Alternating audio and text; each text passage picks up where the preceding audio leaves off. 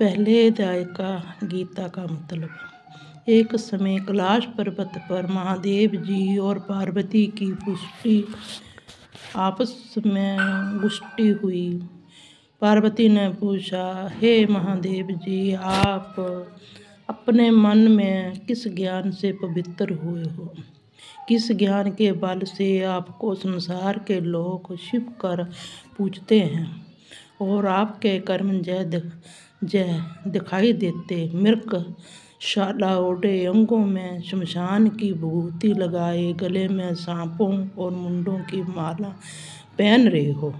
इससे तो कोई कर्म पवित्र नहीं।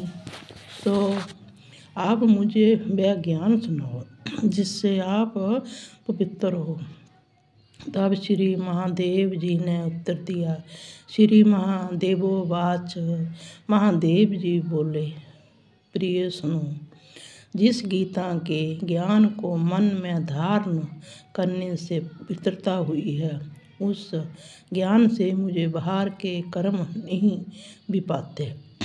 तब पार्वती ने कहा, हे भगवान, जिस ज्ञान की आप स्तुति करते हो उस ज्ञान के सुनने से कोई कितार्थ भी हुआ है।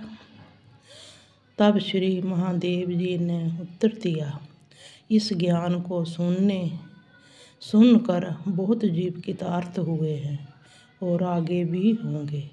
मैं एक पुरानी कथा सुनाता हूँ। तू सुन।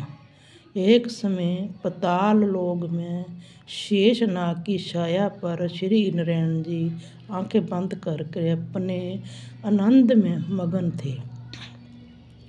उस समय भगवान के चरण दिबाते हुए भी लक्ष्मी जी ने पूछा, हे प्रभु, निंद्रा और आलस्य उन पुरुषों को बेपाता है जो तपस्वी है।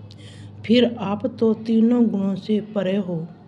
श्री नारायण एवं वासुदेव हो। आप नेत्र जो बंद किए हो, यह मुझको बड़ा आश्चर्य है। श्री नारायण जी बोले, हे लक्ष्मी जी, आपको निंद्रा आलस्य नहीं। विपाता एक शब्द रूपी जो भग भगवत गीता है, उसमें जो ज्ञान है, उसके अंदर मैं मगन रहता हूँ।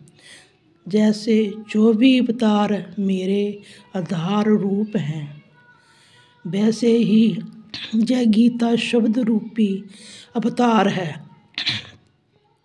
इसके पाँच अध्याय मेरे मुख